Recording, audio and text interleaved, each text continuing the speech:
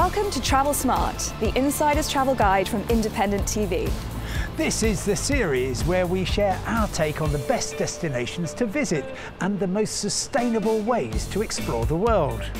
In this episode, we're enjoying island life and all the adventure that brings with a special look at Barbados in association with Visit Barbados.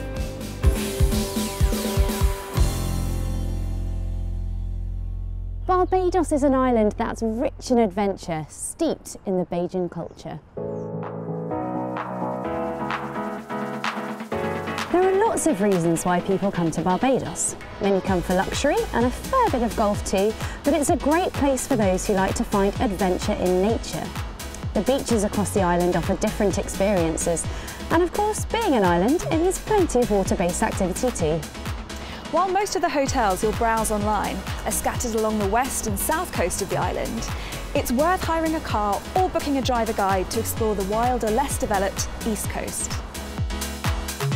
Bathsheba Beach has huge wave-lashed boulders and unspoiled scenery to picnic in, while Animal Flower Cave is a curious swimming spot where you'll see sea anemones and can have a pretty waterfront lunch.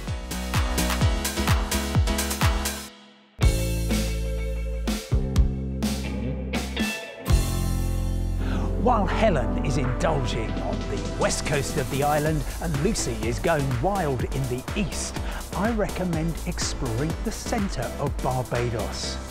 The island was regarded by the empire builders in London as a valuable colony, and Barbados spent over 300 years under British rule.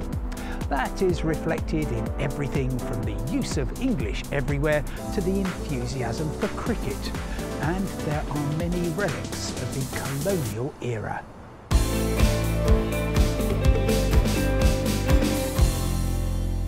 When people think of Barbados, they think of pristine beaches, and they wouldn't be wrong, but there's a whole host of different seaside experiences to be had across the island.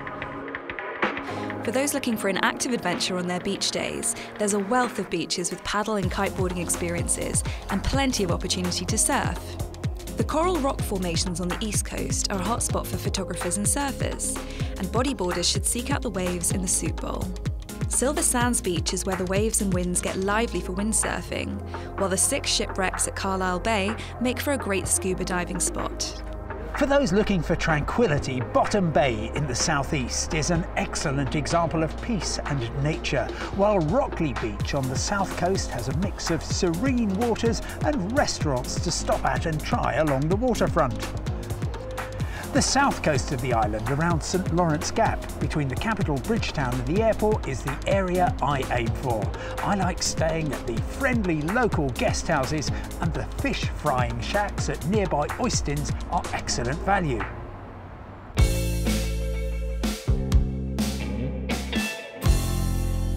Like many Caribbean islands, Barbados has its own distinct cuisine and dishes from grab-on-the-go street eats to some of the region's most glamorous restaurants. If you're a fish fan, Oistins Fish Fry on the south coast is the place to visit. This weekly event is more of a street party tourists are welcome to join than a formal dining experience.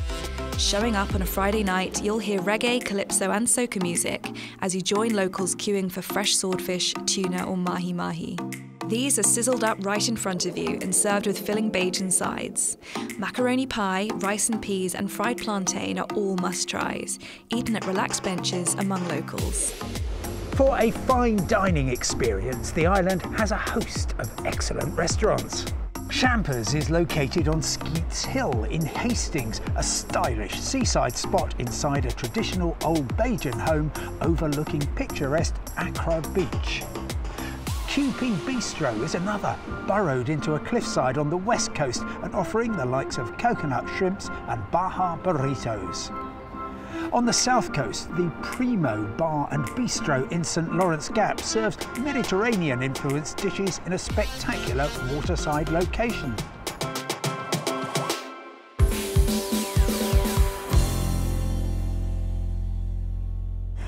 As you can see, whether it's high-end dining or street food, Barbados offers all kinds of different experiences. But who can tell you better than local chef Damien Leach? I caught up with him to have a chat about his restaurant, Cocktail Kitchen. Hi Damien, thank you so much for joining us. Um, so to kick off, can you tell us about your restaurant Cocktail Kitchen and how it fits into the Barbados food scene? Cocktail Kitchen is in St Lawrence Gap. So St Lawrence Gap is a, a, a really popular spot. is filled with restaurants and, and, and bars and great nightlife. So when we got the opportunity to open there seven years ago now, very excited because it was is a, is a, is a hot spot. How does Bajan culture inspire your cooking and the dining experience at Cocktail Kitchen? How I describe our cuisine at Cocktail Kitchen is modern Caribbean. So, as an example, we do a, a roast breadfruit. Uh, I'm very passionate about it. As I have a tattoo of a roast breadfruit on my hand. Um, and growing up, we used to roast it on the beach. So at Cocktail Kitchen, I elevate that slightly. I, I roast the breadfruit, and then I top it with saltfish and lobster. So we've taken that traditional cheap dish and elevated it slightly to work in the restaurant and it's, a, it's massively popular. And finally, what's your favourite spot in Barbados? Our East Coast. I describe it as natural Barbados because unlike the West Coast and the South Coast, which are, you know, they have a lot of hotels and restaurants, it's almost untouched.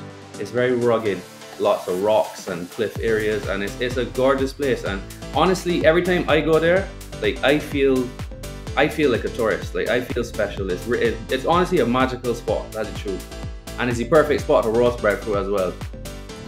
That sounds fantastic. Uh, well, thank you so much, Damien, for joining us and for sharing your top tips.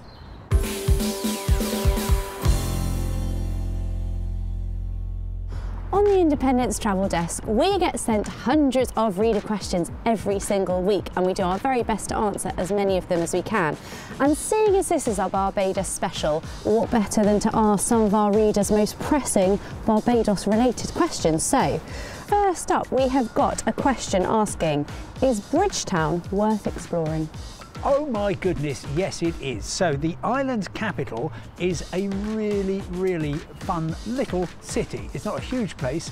Um, it's actually pretty relaxing. They've got a lovely pedestrian area, Swan Street, and the whole city centre, plus the garrison to the south is a World Heritage Site put there for historical significance. The garrison is the original British military headquarters and inside the old military prison there's the Barbados Museum which I really like, It covers everything from the coral structures around Barbados all the way through to the history of the Amerindian people, the very first inhabitants of the Caribbean. Wow, well, you've sold it to me. Hopefully you've sold it to other people as well. Um, Second question, how easy is it to combine Barbados with other destinations? Well, of course, an awful lot of people who go to Barbados combine it with other destinations, particularly other Caribbean islands, because they're on a cruise. And I would urge anybody who's got a cruise that starts or ends or both in Barbados to plan to spend some time on the island. There you are, you've flown all that way, you might as well make the most of what's an absolutely compelling island, one of my favourites anywhere in the world. Well, thanks, Simon. Uh, but I feel like you've got one final hot tip that you're just bursting I to am, share. I am, and it's all about money. Here Ooh. is a US dollar, okay? okay? That is worth two Barbadian dollars. It's fantastic that Barbados has its own lovely coins and notes, but frankly, I just stay with the US currency because afterwards, if you needed to change some back, then it's slightly easier, I find, elsewhere in the world to get US dollars accepted than the lovely Barbados currency. Well, I'm glad you shared that with us because I feel like that's quite important, so thank you. And thank you so much to you for sending in your reader questions. Please keep them coming because we love to answer them.